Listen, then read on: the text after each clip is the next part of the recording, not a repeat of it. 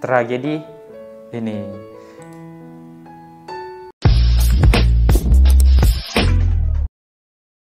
Yo guys, kembali lagi di channel FKR Project.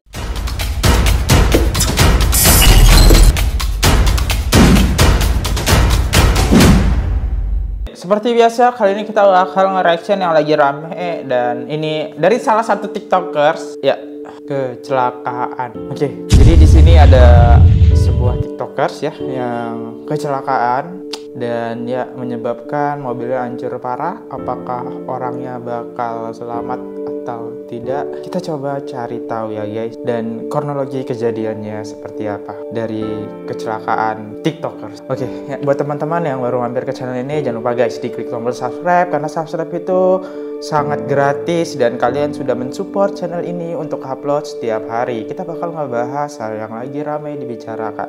Langsung aja kita mulai videonya. Let's go. Pew. Jadi di sini ada Saron ya dari mantan Evos ya dan jumlah pengikutnya 1,5 juta pengikut.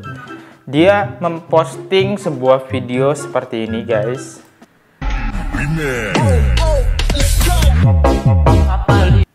Lihat.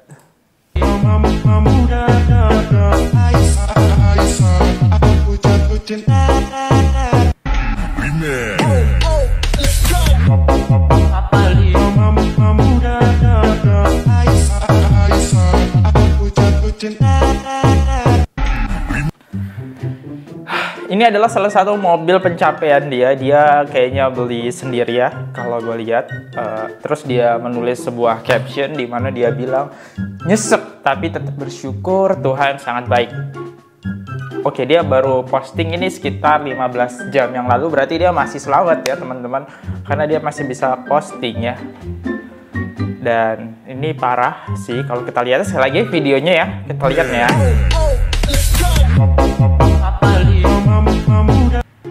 bagian sini ya parah banget. Sampai airbagnya aja terbuka guys tapi ya bagian sini masih aman lah yang penting bagian kursi oke okay. Wah, mobilnya mah masih ada asuransi. Yang penting Bu Dokter selamat. Di Anjar Marianto. Ya, bener bener bener bener sih. Terus dibales ya emotnya. Oke, mantap. Next, kita cari kronologi kejadiannya seperti apa. Oke, gue coba cari-cari tahu dan gue menemukan salah satu Instagramnya dan ya kita bahas dulu sedikit ya sebelum ke kronologi. Nah, ini adalah postingan dia di tahun 2022 tanggal 22 Oktober. Ini dia nulis sedikit kalian mungkin bisa baca aja nggak perlu gue bacain ya. Uh, ini adalah intinya di sini adalah salah satu pencapaian terbesar selama 23 tahun. Umur 23 jadi dokter bisa beli mobil. Apa dayaku yang rebahan ya, Pak? Ini adalah mobil-mobil dia nih. Nah, ini dia beli ya. Dan tragedi ini.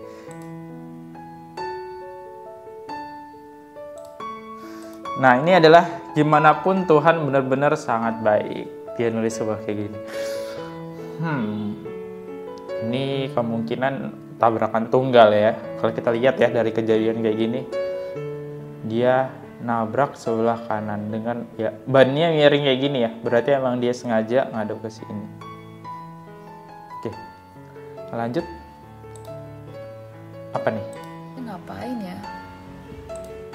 aha mending aku ngerjain online temenin aku yuk ngerjain online tes bina sekolah buat seri apes yang ada di oke. Oke aku temenin. Sekolah aja deh. Nah ini dia nih guys tesnya. Jadi tes ini tuh bisa mengasah kemampuan otak kita juga loh waktu ngerjain. So sekarang aku mau ngerjain dulu tesnya Dan kita lihat apakah aku bisa dapat nilai. Apakah aku bisa bareng kamu ngerjainnya? Next Oke okay guys, jadi aku baru aja selesai ngerjain tesnya dan ternyata tesnya nggak segampang itu guys karena hmm, kalau ada kamu semua tes bisa aku coba kok. Semua tes jadi gampang. Aja sekelas. Next gue gak mau endorse. Nah, kalian tahu gak sih guys, kalau kalian ambil tes ini dan bisa dapetin nilai A plus kayak aku, nantinya bakal ada 50 orang terpilih yang bisa dapetin kesempatan eksklusif ke A plus trailer boy. E plus gak penting, barang kamu penting. Oke, jadi di sini ada klarifikasi dia. Jadi ceritanya kayak gini. Buat yang nanya kronologi ya, jadi ini kejadian kemarin sore. Posisi aku sendirian mau pulang dari rumah sakit. Aku kebetulan emang habis jaga malam dan baru tidur sejaman malam. Pas di jalan aku semacam micro sleep Oke, micro sleep. Jadi nggak sadar sama sekali kalau merem dan tiba-tiba sadarnya pas nabrak kenceng. Hmm, oke. jadi micro sleep itu berarti eh, dia tidur tanpa sadar ya kayak kayak ya dalam bawah sadar karena emang udah kecapean banget kan, terus ngerjain sesuatu kayak tep aja tidur selama berapa detik biasanya sih kayak gitu. Gue sih pernah ngalamin juga guys micro sleep ya. Terus airbag udah keluar semua dan berasap. Aku langsung keluar dari mobil karena bau kebakaran. Jadi takut mobil meledak dan ternyata udah hancur semua bagian depan. Mobil nabrak tiga pembatas jalan yang terbuat dari beton. Wow, microslipnya parah banget ya. Sampai nggak sadar dia tahu-tahu bangun udah kebuka airbagnya. Wow. Hmm, gua ngebayangin kayak apa orang yang meninggal kayak gitu ya sering terjadi tabrakan ya. Tahu-tahu ketiduran dan dia nggak tahu udah nggak sadar lagi. Ternyata dia udah oh ini bahaya banget sih ya. Kalau punya ini nggak tahu penyakit atau kayak gimana ya microslip itu penyakit atau bukan? Gue kurang tahu sih kalau dari microslip itu penyakit atau bukan. Harusnya sih bukan ya. Terus next dia cerita lagi ini pembatasnya sampai hancur juga. Jujur aku nggak paham banget. Ini benar-benar pelindungan Tuhan yang luar biasa. Puji Tuhan aku baik-baik aja guys. Cuma memar-memar beberapa bagian tubuh. Aku kemarin benar-benar udah nggak bisa rasain sakitnya lagi karena nyesek banget dan mobil aku hancur dan benar-benar terasa nggak rela Oh, nah, oh masih sempet-sempetnya mikirin mobil ya. Iya, tapi ya tadi yang kita bilang ya, ini emang salah satu mobil yang dia beli sendiri ya, mungkin ya. Kalau dari caption ya tadi kan. Intinya pelajaran buat kita semua ya. Kalau lagi capek banget dan ngantuk jangan pernah maksain nyetir. Baik mobil ataupun motor ya guys. Aku bersyukur banget kecelakaannya yang lumayan parah gini, tapi aku bisa nggak kenapa-napa. Stay safe ya semua. Makasih banyak buat semua doa-doa yang aku nggak bisa balasin satu. Oke jadi ada tiga pembatas tapi di sini gue cuma ngeliat satu pembatas ini ya. Hmm, pembatasnya sampai mental ya. Wow. Terus di bawah mobil derek guys. Gila sih kebanyak kejadian yang microslip ya. Jadi ini ini kata dokter kan dia emang kuliah di dokter ya. Jadi kejadiannya seperti ini ya guys. Wow serem. Oke next kita lanjut lagi ya cerita dia. Oh my god airbagnya sampai kebuka guys. Untung ada airbagnya ya. Airbag ini kebuka karena apa sih? Karena tabrakan gitu, ada benturan keras dia otomatis kebuka atau gue bingung airbag kebuka saat apa sih? Dan yang paling bikin aku bersyukur juga aku nabraknya pembatas jalan bukan kendaraan lain. Nah, ini ini Tuhan bener-bener baik banget. Bayangin guys kalau nabrak pengendara lain. Kasihan banget yang jadi korbannya ya. Cuma karena kita emang banyak emang terjadi kecelakaan penabrakan karena, karena mungkin salah satunya karena ini ya. Tiba-tiba nggak sadar dia kok nabrak orang sampai kelin ketabrak kelindes.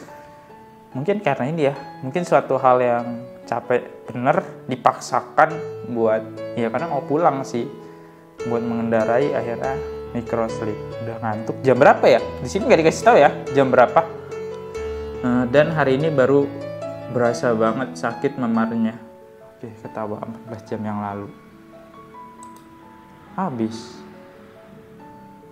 Nah ini adalah dia mantan pemain EVOS ya ngingetin sedikit ya nih oke okay. Mungkin ini aja yang viral, yang gak usah gue bisa main banyak sih karena kronologinya seperti itu aja. Inti dari kronologi ini dia pulang, um, entah tadi gue lupa loh abis kuliah atau kayak gimana. Dia ngerasa capek banget, terus dia maksain buat bawa mobil dan tanpa disadari dia tiba-tiba tertidur. Uh, micro sleep ini sejenis capek yang berlebihan atau emang penyakit guys? Yang tahu komen gue kurang tahu sih micro sleep ini. Tapi gue pernah juga ngalamin ya. Emang kecapean banget itu di motor gue tidur kayak di motor itu berapa detik gitu? 5 detik ya. Tiba-tiba kebangun sendiri kayak cem langsung melek lagi.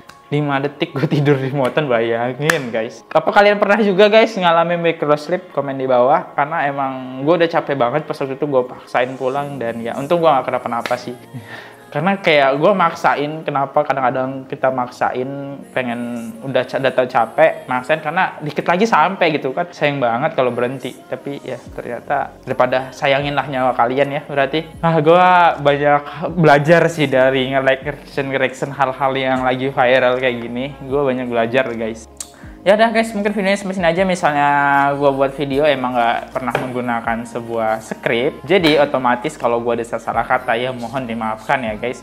Dan kalau emang ada kata-kata baik silahkan diambil baiknya. Di sini gue Fadli. Sampai jumpa di video selanjutnya. Bye bye oke okay guys subscribe channel MKR Project. Jangan lupa kalian subscribe channelnya FKR Project. Subscribe channel FKR Project. Hai guys jangan lupa untuk subscribe FKR Project